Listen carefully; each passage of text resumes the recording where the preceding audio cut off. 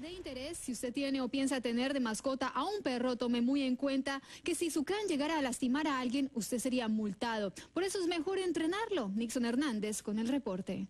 Imagínese usted tener un perro que obedezca todo lo que se le diga, incluso a media milla de distancia. Pues déjeme decirle que eso ya es posible y todo gracias a la tecnología. Vea.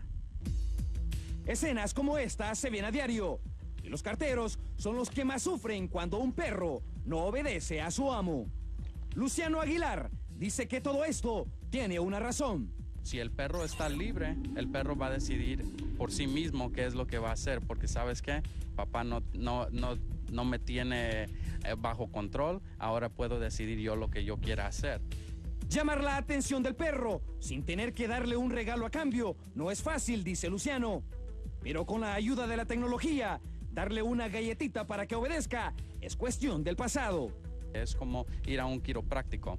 Eh, la, la, misma tecnología que le están poniendo para rehabilitar los músculos, también lo estamos usando nosotros para, para enseñarle al perro qué es lo que queremos. Se trata de un collar llamado Sit Means Sit o sentarse quiere decir sentarse, el cual es manejado a control remoto.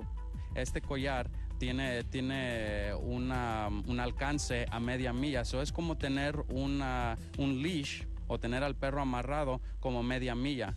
Silvia está contenta por lo que su pitbull ha aprendido. Es muy obediente. Lástima que no es tan macho como lo que aparenta.